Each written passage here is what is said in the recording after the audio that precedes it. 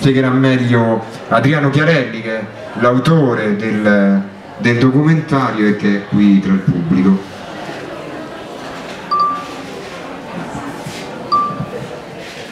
Buonasera a tutti e grazie per essere qui. Ehm, parlerò poco perché eh,